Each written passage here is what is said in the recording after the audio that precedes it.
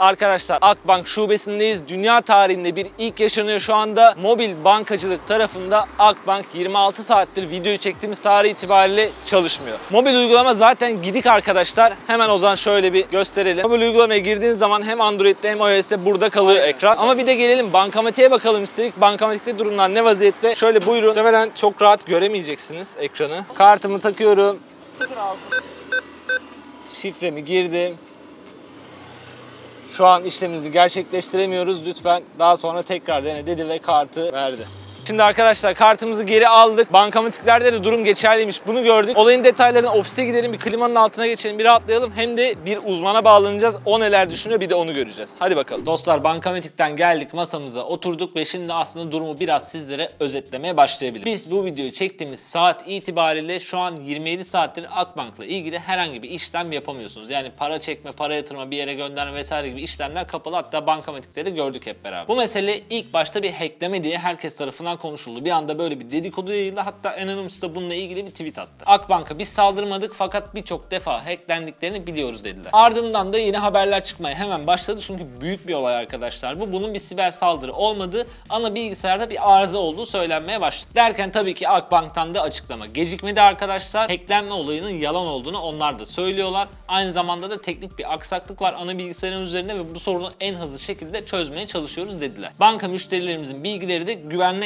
ellerde bu tarafta da bir data sızıntısı olmadığını belirttiler. Yani sizin işte banka kartı bilgileriniz vesaire bilgileriniz herhangi bir yere sızdırılmamış durumda şu an Akbank'ın açıklamasına göre. Bu sırada kesinti devam ediyor. Onlar çalıştıklarını söylüyorlar zaten üzerinde ancak sosyal medya durmuyor. Sonuçta insanlar para çekecek bir yere para gönderecek vesaire ceplerindeki parayı harcayamıyorlar daha doğrusu. Bu sefer de ikinci açıklamayı yapmak durumunda kaldılar. Kredi kartı ödemelerini ve kredi ödemelerini bir gün faizsiz bir şekilde ötelediler. Şimdi ben sizlere konuyu biraz özetledim ancak her zaman olduğu gibi uzman birine de tabii ki de danışmak istiyorum. Yanımda Oğuzhan Yılmaz var. Kendisi IT işlerinden tabii ki de oldukça anlıyor. Ona danışmak istiyorum. Abi hoş geldin videomuza. Hoş bulduk, teşekkür ederim. Nasılsın iyi misin? Ee, sağ ol, senden ne var? İyiyim ben de. Abi biliyorsun Akbank olayları şu an patladı gündemde. Herkes bunu konuşuyor. Hatta 20 lirayla bir gün geçinmeye çalışan arkadaşlar gördüm ben Twitter'da para çekemedikleri için. Baya problem hakikaten biz de takip ediyoruz. Banka çapında böyle 30 saate aşkın bir kesinti. Açık dünyada falan nadir örneklerden bir tanesi. Peki abi sorunun kaynağı nedir? Neden yaşandı bu olay? İlk başta öyle sağdan soldan bakıyorduk. Akbank'ta bir kesinti vardı. Biz sıradan bir kesinti zannediyorduk. Sonra kredi kartlarının çalışmıyor deyince ha daha böyle ciddi bir durum olabilir diye düşündük. Tabii insanın aklına direkt şey geliyor. Bir hacklendiler mi vesaire çünkü banka sonuçta. Siber istihbarat tarafında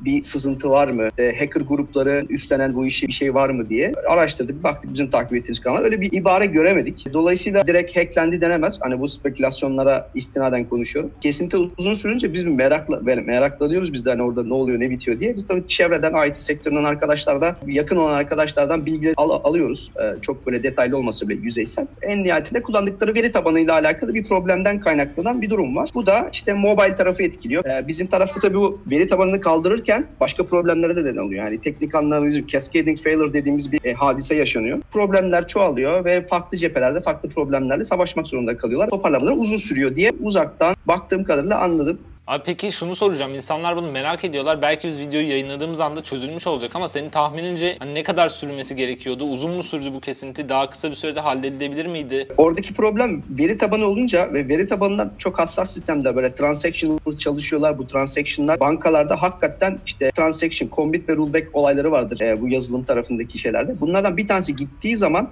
bir zincir kopuyor ve onu toparlamak çok uzun sürüyor. Dolayısıyla büyük veri tabanı uzmanları zaten işte o veri tabanının provider'ı da gelmiş olay bir el atmış. Olay veri tabana dokunduğun zaman gerçekten uzun sürüyor. Ee, ama tabii bir banka için hani ortalama bankanın şeyi işte 99.59'dur. Da işte e, yıllık 3-5 saate denk gelirdir. 6 saat sonrası gerçekten kötüdür. 3 saat farklı bir şey. Downtime bir banka için uzun diyebiliriz. Ama yaşadıkları problem için de bence 24 saat ortalama diyebilirim. Şu an o zaman o dediğimiz süreyi aştık ve sıkıntılı dönem başlıyor aslında burada. Ya bir yerden de şey düşünüyorsun hani banka bu zaten felaket senaryolarına çok hazırlıklıdır. Hani direkt burada mesela öyle olmadığını gördük. O da ayrı bir konu tabii. Ama tabii içeride e, şartlar nedir? Oradaki şeye göre düşünmek lazım. İşte duruma göre düşünmek lazım. Buradan konuşmak kolay hakikaten. Kan ter ve gözyaşı vardır orada. Bank- banka için uzun bir, bir downtime diyebiliriz. Yani abi Anonymous da bununla ilgili tweet attı görmüşsündür sen de illaki. Bir hack olayı olsa zaten bu zamana kadar muhtemelen ortaya çıkardı diye tahmin ediyoruz biz. Evet evet çok tutamazlardı yani. Banka bütün potlar çevrilmişken bir leak olsa bu hem değerli bir şey e, deep web için hem de hani bir reputation kazanılacak bir durum. Çoktan öğrenirdik, görürdük yani. Sorularımız bu kadar da Oğuzhan abi. Çok teşekkür ediyoruz katıldığın için, değerli bilgilerin için de. E, ben de çok teşekkür ederim. Görüşmek üzere. Sağ ol.